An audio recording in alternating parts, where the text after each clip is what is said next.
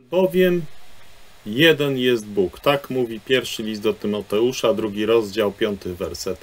Albowiem jeden jest Bóg. Tak, Słowo Boże mówi o jednym i jedynym Bogu. Bóg jest jeden, poza nim nie ma innego. Ja jestem pierwszy i ja jestem ostatni, a oprócz mnie nie ma Boga, mówi Księga Izajasza, 44 rozdział, 6 werset.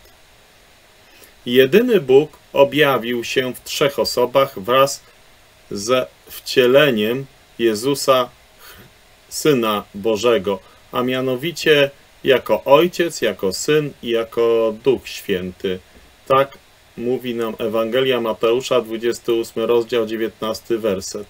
Te trzy osoby bóstwa stoją na tym samym poziomie, mają tę samą moc i posiadają tę samą godność. Są jednością myśli, w mowie i w działaniu.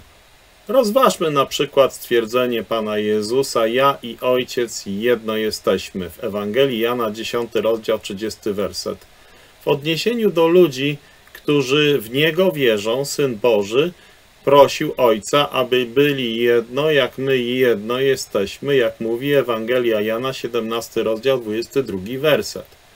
Jeśli przeanalizuje się Biblię w odniesieniu do trzech osób bóstwa, można zauważyć, że ojciec obrał plany, a syn je zrealizował w mocy Ducha Świętego.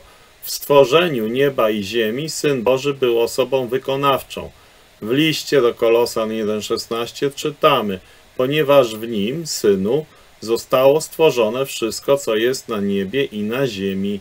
List do Hebrajczyków, pierwszy rozdział, drugi werset, mówi, że Bóg stworzył wszechświat przez osobę swego Syna. Zanim ziemia i niebiosa zostały stworzone, Bóg wybrał swojego Syna, Jezusa Chrystusa, aby stał się barankiem ofiarnym za zgubionych i zagubionych ludzi. Tak mówi pierwszy list Piotra, pierwszy rozdział, 19 do 20 wersetu. Duch Święty był również zaangażowany w tę ofiarę. List do Hebrajczyków, 9 rozdział, 12, 14 werset, tak, 14 werset, ujmuje to w ten sposób. Chrystus ofiarował samego siebie bez skazy Bogu przez Ducha Wiecznego.